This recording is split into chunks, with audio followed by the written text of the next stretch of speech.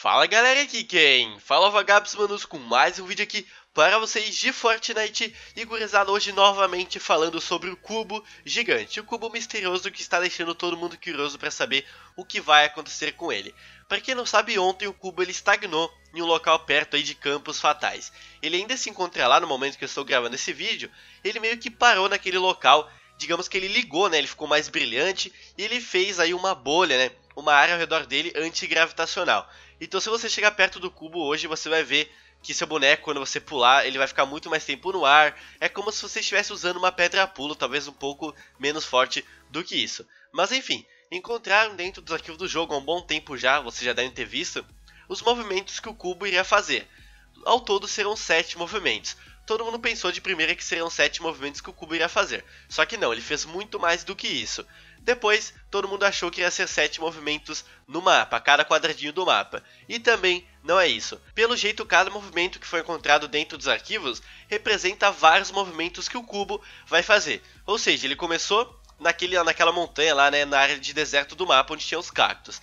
Ele se movimentou muitas vezes até chegar nesse local próximo de Campos Fatais. Esse foi o movimento 1 dele, esse deslocamento inteiro, tá ligado? Então, a cada movimento que está dentro dos arquivos não é um movimento do cubo, porque para quem não sabe, o cubo já fez mais de 40 movimentos. E foram praticamente 3 dias desde que o cubo começou a se movimentar até chegar nesse primeiro local. E ali embaixo diz o seguinte: Move to One, né, que é o primeiro movimento, e embaixo Run 1, que seria runa em português. E as runas são aqueles sinais marcados no cubo. Se você olhar o cubo com calma, uh, não precisa nem olhar com calma, você pode perceber tranquilamente uma partida, que nele tem vários sinais, né? Tem alguns sinais na verdade. E manos, o cubo neste exato momento está marcando uma dessas runas no mapa. Se você entrar no modo replay e olhar embaixo do cubo, por dentro dele, você vai ver que tem um desses sinais demarcados aí no chão. Se você olhar o cubo, você vai encontrar esse sinal exato, que é esse aí que está marcado aí na foto. Uh, ele está exatamente embaixo do cubo neste exato momento.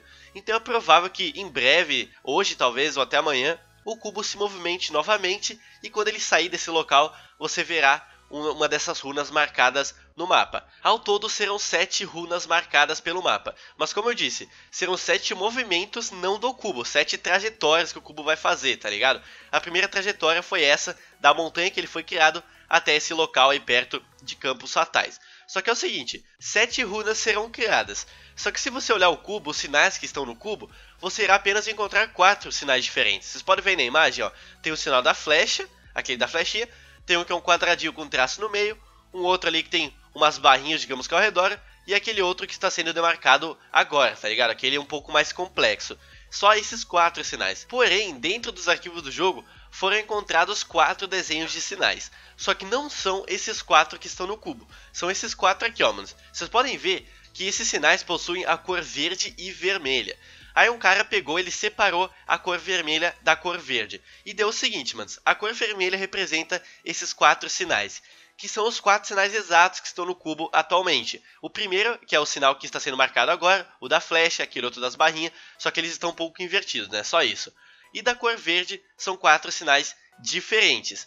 Então, no todo, são oito sinais aí que o cubo poderá fazer no mapa. Só que isso não é certo ainda, obviamente que é tudo encontrado, o pessoal meio que faz uma teoria a respeito disso. Só que nos arquivos diz que são sete runas marcadas. E dentro dos arquivos, como eu disse, separou as cores, são oito sinais. Então eu já não sei né, se isso realmente vai encaixar. Mas é muito, é muito sinistro mesmo. E vocês estão ligados que eu fiz o um vídeo ontem falando das cabeças de pedra, que no espectrograma do som que o cubo transmite tem uma cabeça de pedra?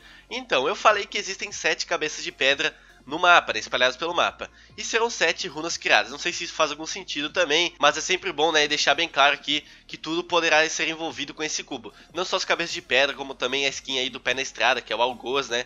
Ou até mesmo o visitante. Né? Muitas pessoas apostam também no visitante, que ele fará alguma coisa ainda nessa temporada com o foguete, talvez. E um usuário no Reddit chamado Acephalic, ele pegou aqueles quatro sinais encontrados dentro dos arquivos do jogo, separou da cor vermelha da verde, como eu disse agora há pouco, pegou os oito sinais finais aí e uniu todos eles no Photoshop, tentando meio que criar um desenho, alguma coisa relacionada com o jogo. Eu achei isso bem interessante, claro que isso pode não significar nada, pode não dar em nada, tá ligado? Mas ele tentou meio que resolver esse quebra-cabeça, ele colocou lá no Reddit, o pessoal achou bem interessante também isso aí. eu mesmo tentei baixar as imagens no formato PNG que ele colocou à disposição e resolver esse suposto quebra-cabeça, digamos que pode não ter nenhuma resposta. Eu até perdi um pouco do meu tempo aí, porque não deu em nada. Mas enfim, né? Pode ser que signifique alguma coisa, ou pode ser que não. Mas é claro que são oito sinais. Isso que eu achei mais, digamos que estranho, porque são sete que foram encontrados dentro dos arquivos do jogo, que serão demarcados no mapa. Mas mesmo assim, se você quiser resolver esse quebra-cabeça, que pode não ter solução, porque é apenas uma teoria, eu vou deixar o link né, do post dele no Reddit aí para você conferir e baixar as imagens e tentar, digamos que, perder seu tempo aí, porque pode ser que não tenha solução nenhuma. E só para deixar os players mais malucos e curiosos ainda, a Epic Games publicou lá no Twitter do Fortnite uma parada muito sinistra agora há pouco. Colocou o seguinte: Where we dropping, que seria aonde estamos caindo. Aí colocou as opções como Piada da Preguiça e Via do Varejo. E só isso, mano. Tipo, não colocou mais nada. Aí tem lá a votação. Eu votei no Pradas da Preguiça, mas não sei o que, que vai significar isso. Se isso realmente significa alguma coisa. Vocês podem ver que a maioria votou na via do varejo.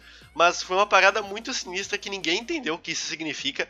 Será que a Epic está tentando deixar o pessoal maluco? Ou será que isso significa alguma coisa? Uh, o local mais votado terá algum acontecimento ali. Não sei, mano. Mas realmente é muito estranho ter isso do nada lá no Twitter deles. Mas enfim, espero que vocês tenham gostado do vídeo. Tudo isso está levando a crer que o cubo irá levar muitos dias ainda para chegar na sua trajetória final, né? Que muito provável seja o Lago do Saque. É provável que o cubo até pode dar uma volta no mapa, sabe? Porque ele deu 40 movimentos aproximadamente para chegar ali no primeiro ponto dele, que é perto de Campos Fatais. Depois vai demorar mais alguns 3 dias mais ou menos, que como foi a primeira trajetória, para fazer a segunda runa e assim por diante. Então ele vai demorar uns bons dias aí para concluir toda a sua trajetória e vamos ver no que vai dar, né? Essa parada final do cubo que realmente está muito misterioso. Mas enfim, mano, espero que vocês tenham gostado aí do vídeo. Se você gostou, deixa seu like porque não custa nada e me ajuda muito. Comente embaixo o que você pensa sobre isso. Se você acha que as cabeças de pedra estão envolvidas com o cubo. Se você pensa também que esses sinais marcados pelo cubo